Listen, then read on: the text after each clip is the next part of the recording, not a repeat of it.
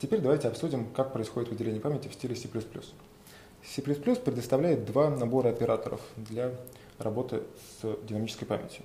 Это new и delete, которые используются для одиночных значений, и new квадратные скобки и delete квадратные скобки, которые используются для массивов.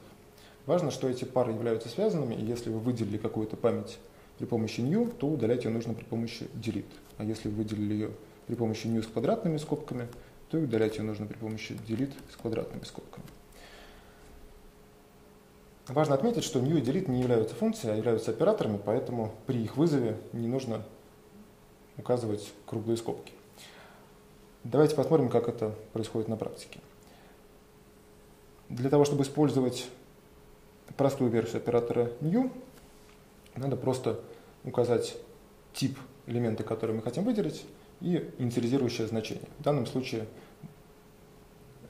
выделяется значение под выделяется область памяти под одно значение типа int, которое инициализируется числом 5. То есть там будет один int со значением 5. Для того, чтобы освободить эту память, используется оператор delete без квадратных скобок.